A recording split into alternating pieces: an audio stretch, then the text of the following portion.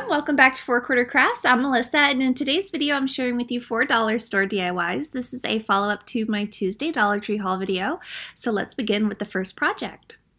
I'm starting with four of these frames from Dollar Tree. Um, almost everything in this video is from Dollar Tree. I'm going to remove the backing and the glass.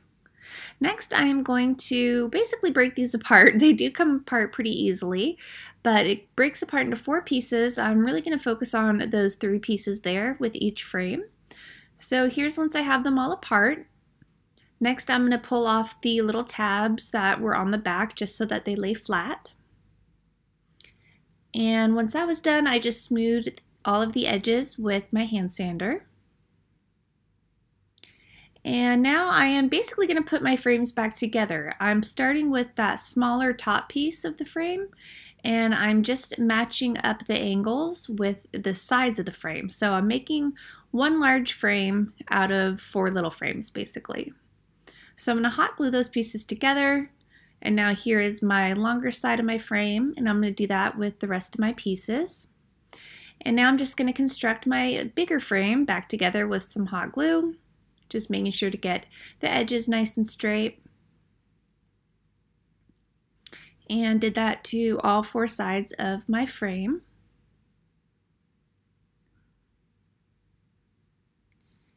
And then once that was done, I took some of these adorable canvas prints from Dollar Tree as well, and I am going to glue these into a section of four. So I'm putting hot glue on the side of one, and then I'm putting the opposite frame in the opposite corner and then gluing those.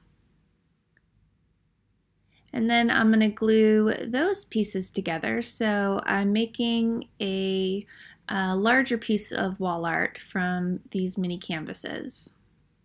Next I'm going to take this uh, burlap ribbon and I'm going to measure out how much from the top to the bottom and side to side and then hot glue those down. That's just going to cover the creases of my uh, frame there. Smooth it out, do the same thing all the way across, put some hot glue, and then smooth out the other piece. This just makes it look a little more finished. And now I'm going to take this kind of jagged edged uh, burlap ribbon and I'm going to uh, measure out the length of the bottom and the sides. So I'm going to cut four of those total. I'm then going to add hot glue and just place that ribbon down and this is going to go on all the sides of my canvas picture here. And now it's once that was done, I took my frame and put dots of hot glue into each corner and set the frame down right on top. Um, the frame is just a teeny tiny bit smaller, so that's why the ribbon is on the sides. Uh, but now we're going to focus on the center portion. So I'm taking these bows, I'm going to cut them apart. And what I loved about these was um, just the coloring and kind of the really beautiful texture of it. So since these are curled, I'm really going to make them as straight as I can by um, the opposite of curling ribbons. So I'm just um, going over them to make them straight on the pink side. Now I'm going to take some poster board and just a lid. I'm going to trace out, I believe I do six circles. And then um, once I have all of my circles traced, I'm going to cut those out. And what I'm going to be doing here is making some paper flowers out of this um, ribbon and post board. So I'm going to cut out my circles. Here's what they look like all cut out. Next I'm going to take my extra strength glue stick and go about halfway down and start gluing down my ribbon. So I'm just going to put a piece down, cut it, continue that piece, and then cut it, continue that piece and cut it and then work my way all the way down. And uh, not really overlapping it just putting it as close as possible. So once I have it all the way down I'm going to turn it over and then cut out around the circle And I will be doing the back side of this as well, uh, but just to not lose the shape of the circle, I am cutting in between each layer. So here I did the back, and then I'm going to once again trace, or I'm sorry, cut around that circle.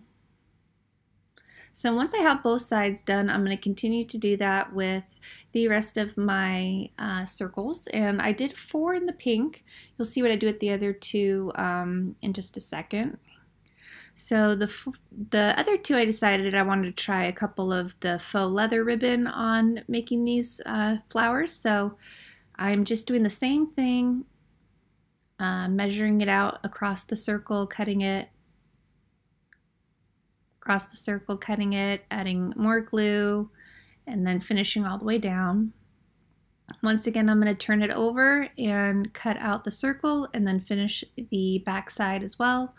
So I did that to both of those circles. So now I'm making the flowers. You're going to go in at, at an angle and you're going to start basically going thin to thicker. You're going to do a, a, squirrely line. So once you get your uh, line all cut, if you start at the first point where you began your cut, you're just going to roll it and you're just going to hold, um, what I find the best is to hold your thumb at the, what will be the bottom of the rose and then just roll it from there. And then once you have that all the way down to the bottom, I'm going to add some hot glue on that bottom portion and then secure it. And then any places that seem to kind of pop up, I just put little dots of glue inside and now I have my paper rose and I have it in the color that I want. so I'm going to do the same thing to the other four roses and then I just did the same thing to the ones that I did with the faux leather. I made those into some roses as well, so I did that to both of those. And here's what those look like once that's done. And then I decided um, I was kind of playing around and seeing what kind of look I wanted. I was originally thinking a bouquet, but then it seemed a bit too much, so I decided on just three of these roses. And then I took a couple of flowers from a bouquet and then some feathers from the dream catcher. I'm just trimming down the feathers here and then gluing the three, I believe, flowers down in the shape that I will be gluing my roses. So the Dreamcatcher feathers had beads on them. I just removed the beads and then trimmed it down and then placed it right underneath the flower petal and I angled it kind of pointing down on both sides. Next I'm adding hot glue to the bottom of my paper flowers and I'm placing them right where I had kind of planned out and it leaves the flower petals kind of poking through the side. And here is how the finished project turned out.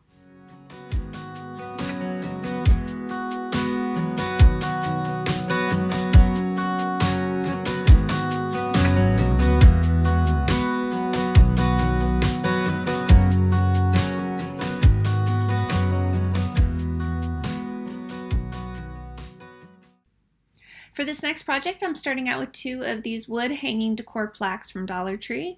I'm going to cut the hanging twine portions off. And then I'm going to take some of the spackling just to fill in the holes. Um, I actually did not need to do this, um, but um, if you want to, you can, but I ended up putting something over this, but just kind of an extra step if you wanted to fill the holes.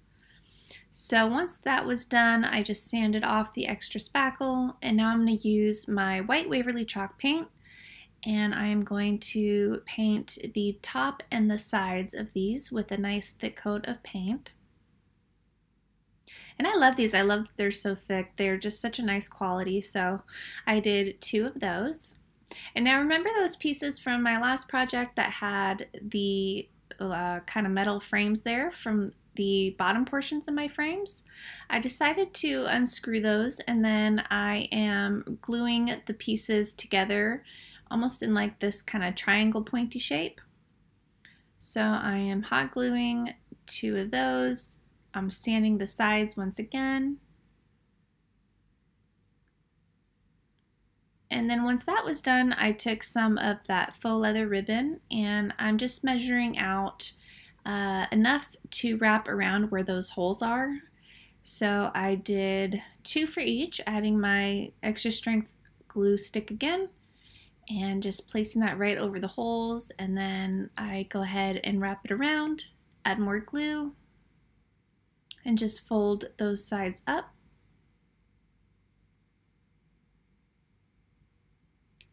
And what I am uh, doing here is kind of building out the look of like a, a keyhole. So you'll see um, what I'm making here in just a sec. So to cover that line in the middle, I put another piece of the ribbon. I just measured out exactly how much I would need and then glued that down to the middle to cover those middle lines. And now you see how the sides, one's a little bit thicker than the other because that was for putting in like your label. If you overlap them, then you get the sides equal on, on both, an equal amount of thickness. So I'm just doubling those up and then screwing them back down.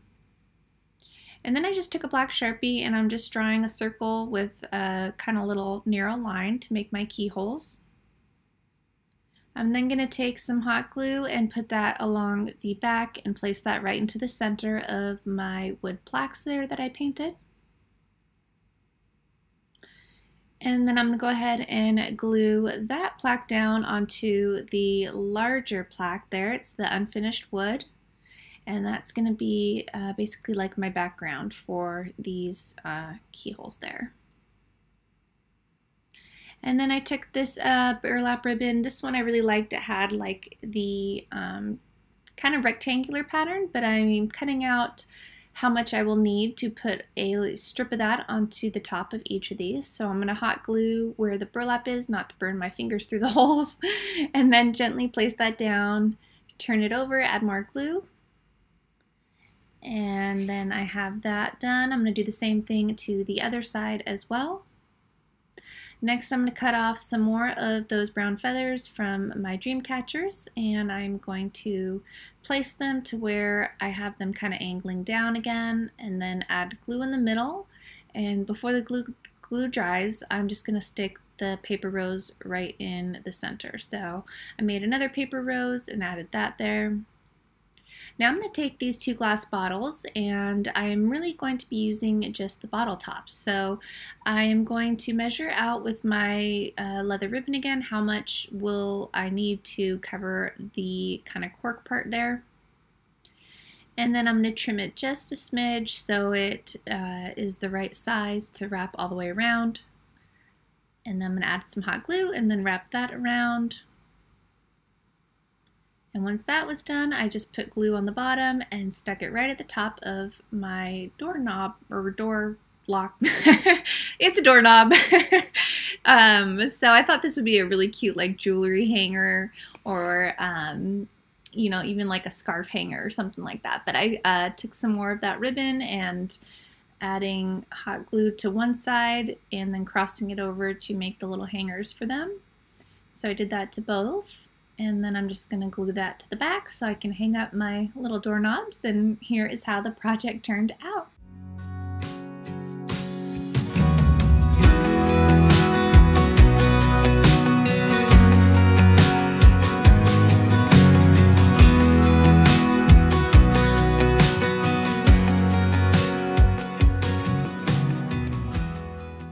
For this next project, I'm starting out with this garden flag and some wooden stems. I'm going to remove the flag and I want these wood stems to be the base of what I'm making. So I'm just kind of figuring out how I want to build them up. So I'm starting with the biggest pieces first and I'm going to glue those down. I'm going to add some glue to the base of my uh, flag there and then go ahead and press those against the wood stems I'm to add more hot glue and then some more of the bigger wood stems all the way around.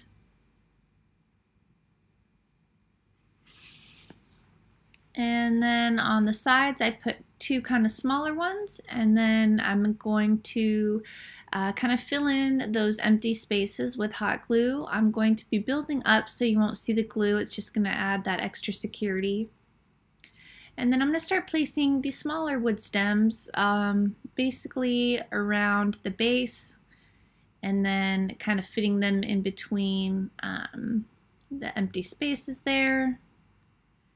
And then all around on the back as well just giving it a really nice secure fit there And then uh, once that was done all the way around, I decided to add those faux leather roses that I made earlier.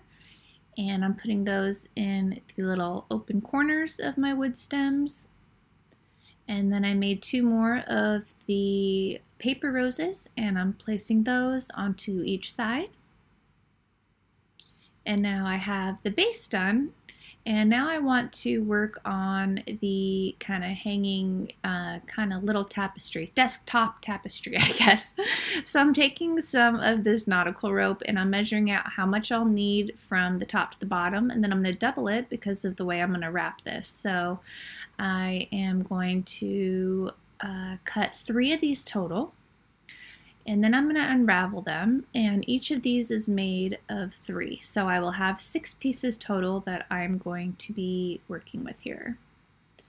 So now I'm going to figure out the center and then loop it through. I'm just going to do like a loop knot so I'm just wrapping it over and then tucking the other two pieces in just like that and then tightening it and that's just going to give me that like that little loop knot there at the top. And then I'm just going to continue doing that with all the rest of my pieces. Here's what all six of them look like. And then I'm going to take a fine-toothed comb and just start brushing from the bottom and then kind of work my way up in sections. I'm um, working my ways kind of in threes. So here's what it looks like once it's brushed. I'm going to do that to the other three as well. I'm then going to lay it down and then cut a straight edge, trim any pieces that may still be a little longer, and then it's perfect for hanging.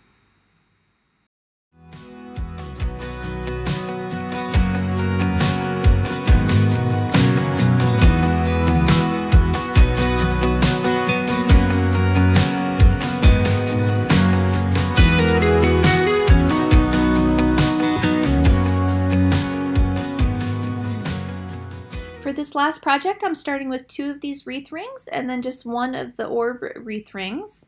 So we're going to first start with the two smaller ones. I'm going to use some decorative nautical rope and I'm going to start by unraveling that. Once again, it unravels into three pieces. And I'm going to unravel the whole thing and then grab the three ends and tie a knot. And then I'm going to start braiding the three pieces. I'm going to braid it all the way down. Once I get to the bottom, I'm going to tie another knot and I will be using two total for this uh, each wreath. So four total but two for each of the smaller wreaths. I'm then going to add some hot glue and then start wrapping the braided uh, rope there. So I'm going to wrap it and just continue going um, as far as I can go basically. And then I'm going to trim down the edges add some more hot glue and then kind of lay it down flat. This is the back of the wreath, so it will lay flat. And then I'm going to continue where I left off, add more hot glue with my second braided rope and start wrapping that around. It's just going to cover the rope that's already glued in the back there. And I'm going to continue wrapping. And then when I get to the bottom, I am going to push as much as I can to get those pieces as close as possible and then just cut off any remaining parts and then glue down the edges and then push a little bit more and this piece that is empty there is where I'm going to start building up with my yarn. So I did that to both of these smaller wreaths here. And now I'm going to be using one color for each wreath of the pink and the tan. So I'm going to start wrapping, this is just a white piece of board from Dollar Tree, just the whiteboard. I'm going to wrap around it 20 times and then cut it.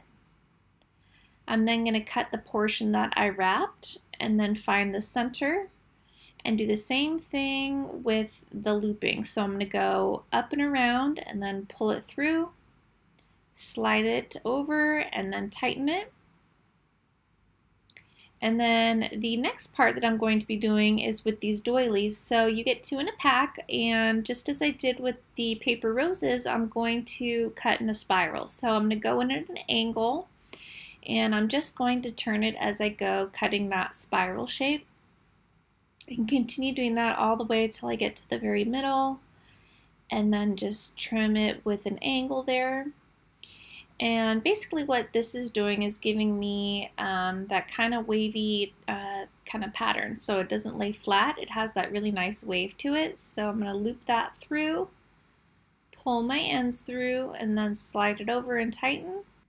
And then I'm just going to repeat the same pattern with the pink yarn. So I'm going to do tan, the white lace, pink yarn, tan, tan, tan, pink, white lace, and then tan again. So that was the pattern I did. And then I'm just going to group the ends together and cut that. So I did that to both of the smaller wreaths. So now the bigger wreath in the middle, I am using this uh, white feather boa.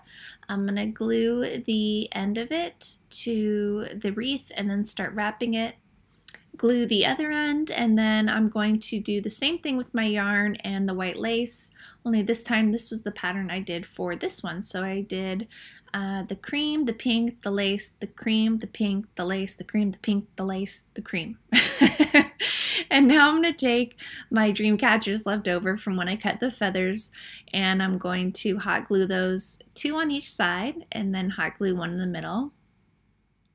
I'm then going to take some white yarn and just loop that through the top and then tie it for added strength there. And then I was playing around with some more florals and I thought that I would fill in the empty space in between the dream catchers with some florals. So I'm just gluing those in, making sure that these stems are going underneath the wreath so they're glued on the bottom side. And then once that uh, wreath was done, I'm just hot gluing it to both of my smaller ones, and here's how it turned out.